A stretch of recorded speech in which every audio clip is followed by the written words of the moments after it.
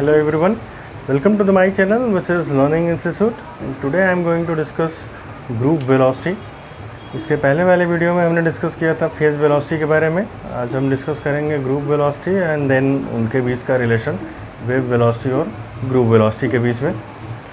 तो group velocity क्या होता है? ग्रुप वेलोसिटी मैक्सिमम एम्पलीट्यूड अगर हम किसी वेव पैकेट की बात करें तो वहाँ एक सिंगल वेव नहीं ट्रेवल करती, बल्कि एक ग्रुप ऑफ़ वेव्स ट्रेवल्स करती हैं। तो वहाँ पे सिंगल वेव नहीं जाती। तो हम ग्रुप वेलोसिटी के लिए क्या करते हैं कि नंबर ऑफ़ वेव्स को लेते हैं। जैसे कंसिडर कर लेंगे सिंपली दो वेव्स को, जो किसी भी अदर डायरेक्शंस में जा रही होंगी, और उनका मैक्सिमम एम्पलीट्यूड निकालते हैं, और मैक्सिमम एम्पलीट्यूड के थ्रू उनका हम या एक तरह से एम्पलीट्यूड के थ्रू उनका वेलोसिटी निकालते हैं। और ग्रुप वेलोसिटी वही वेलोसिटी होती है, जो वेलोसिटी उसके एम्पलीट्यूड की वेलोसिटी होती है। तो चलिए डिस्कस करते हैं। तो इसमें हम क्या करते हैं कि सुपर पोजिशन प्रिंसिपल को यूज़ करते हैं, y equal to y one plus y two अगर हम दो ही वेव्स को कंसिडर करें किसी वेव पैकेट में तो उनका जो सुपर पोजिशन प्रिंसिपल होगा वो y equal to y one plus y two से निकल जाएगा रिजल्टेंट डिस्प्लेसमेंट तो हम सपोज़ कर लेते हैं कि एक जो वेव है उसका डिस्प्लेसमेंट कुछ इस तरीके से है। Y one equal to a sine omega one t minus k one x यहाँ पे ओमेगा वन है एंगुलर फ्रिक्वेंसी एंगुलर फ्रिक्वेंसी किसी एक वेव्स का, और ये है प्रोपागेशन कांस्टेंट प्रोपागेशन कांस्टेंट उसी तरीके से ये दूसरी वेव्स का velocity angular frequency and propagation constant ठीक है? तो जब हम इसका सुपर पोजिशन प्रिंसिपल निकालेंगे तो कुछ इस तरह आएगा a sine omega plus a sine omega two t minus k two x and then हम यूज़ करेंगे यहाँ पे formula sine c plus sine d का। ये होता है two sine c plus d by two into cos c minus d by two तो इस फार्मूले को जब हम यूज़ करेंगे तो ये आएगा two a sine this one and into cos this one c minus d by two c minus d by two यहाँ पे ये क्या है? ये सी जैसा है और ये टोटल टर्म यहाँ पे डी जैसा है। तो फाइनली हमें मिलता है, इस कॉस को हम आगे लिख लेते हैं। तो y equal to two a cos omega one minus omega two t minus k one minus k two upon x and sine this term this whole term is here so sine omega one plus omega two upon two minus k one plus k two ये सारी चीज़ें यहाँ होंगी। हमें group velocity में केवल amplitude factor की velocity निकालनी है। इसलिए हम इस मैटर को यहाँ से सीधे लिख लेंगे, ज़्यादा हमने लिखा नहीं।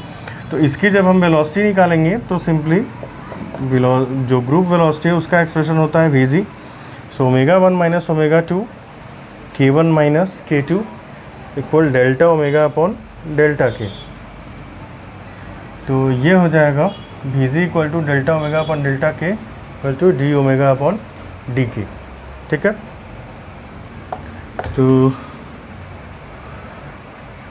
ये एक्सप्रेशन है हमारा ग्रुप वेलोसिटी का d omega upon d k और इसके पहले हमने फ़ेज़ वेलोसिटी को डिस्कस किया था तो वो आता है v p equal to omega upon k ये था सिंगल वेव्स की वेलोसिटी और ये है ग्रुप ऑफ़ वेव्स की वेलोसिटी जिसे हम ग्रुप वेलोसिटी बोलते हैं डी ओमेगा अपॉन डी के ठीक है?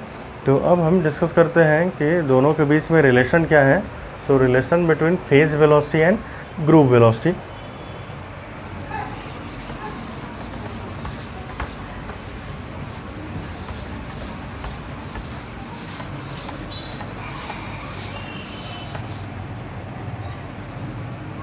relation between phase velocity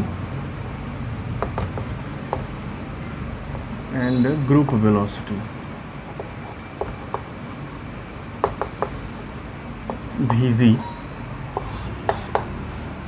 तो इसके लिए हम क्या करेंगे? हमने अभी एक्सप्रेशन निकाला है vg होता है हमारा डी ओमेगा अपॉन डी के ठीक है? और इसके बारे में हमने पढ़ लिया था। यहाँ से हम अगर ओमेगा निकालेंगे तो क्या आएगा? ओमेगा आएगा सिंपली के ऑफ़ वी पी तो इसको हम लिख सकते हैं डी बाई डी के और ये हो जाएगा के इंटू वी पी ठीक है? यहाँ से। तो इस पर जब हम अप्लाई करेंगे तो ये हो जाएगा k d v p upon d k plus v p क्योंकि के के रिस्पेक्ट में हम करेंगे तो ये सिंपली वन हो जाएगा। सो ये हो गया d v p upon d k plus v p अब चूँकि के बराबर होता है टू पाई बाई लेमडा ऐसा? तो अगर हम यहाँ से डी के निकालेंगे तो क्या आएगा?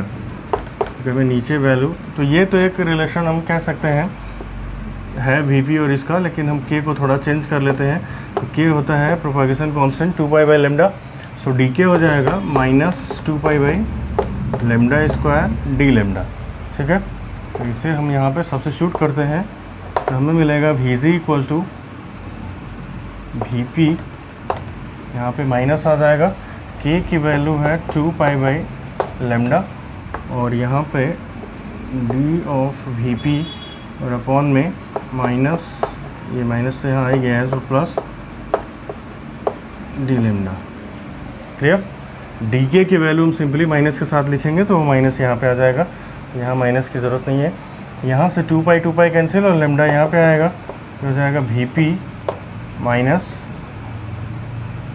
lambda d v p upon d lambda so, this is the relation. So, this gives the relation between Vg and Vp तो ये जो हमारा रिलेशन आ रहा है, ये डिस्पर्सिव मीडियम के लिए है। ये जो रिलेशन है वो किसके लिए है? डिस्पर्सिव मीडियम के लिए। डिस्पर्सिव मीडियम क्योंकि इस मीडियम में जो फ़ेज़ वेलोसिटी होती है, वो डिपेंड करती है लेमडा के ऊपर। जो डी है, ये एक तरह से जो फ़ेज़ वेलोसिटी है हमारा फ़ेज़ वेलोसिटी वो डिपेंड करता है लेमडा के ऊपर डिस्पर्सिव मीडियम में। तो उस केस में क्या होता है कि जो वी की वैल्यू होती है, वो ऑलवेज लेस देन होती है वी से। तो एक तरह से हम कह सकते हैं कि डिस्पर्सिव मीडियम में जो ग्रुप वेलोसिटी होती है, वो हमेशा फ़ेज़ वेलोसिटी से कम होती है। यानी जो सिंगल वेव की वेलोसिटी है, उससे ग्रुप की वेलोसिटी हमेशा कम होती है। लेकिन जो नॉन डिस्पर्सिव मीडियम होते हैं नॉन डिस्पर्सिव मीडियम में जो वेव्स होती हैं, वो लेमडा पे डिपेंड नहीं करती। तो उस केस में क्या होता है कि जो d v p upon d lambda है, ये हो जाता है ज़ीरो तो उस केस में हमारा वी जो है, वो वी पी के बराबर हो जाता है। सो नॉन डिस्पर्सिव मीडियम में ग्रुप वेलोसिटी और फ़ेज़ वेलोसिटी सेम होती है। तो ये काफ़ी इंट्रेंस वगैरह में पूछता है कि फॉर नॉन डिस्पर्सिव या डिस्पर्सिव मीडियम में ग्रुप वेलोसिटी और फ़ेज़ वेलोसिटी में आपस में क्या रिलेशन होता है? तो आई होप कि इस वीडियो के बाद ये कन्फ्यूज़न दूर हो जाएगा। So this is all about for this video thanks for watching this video thank you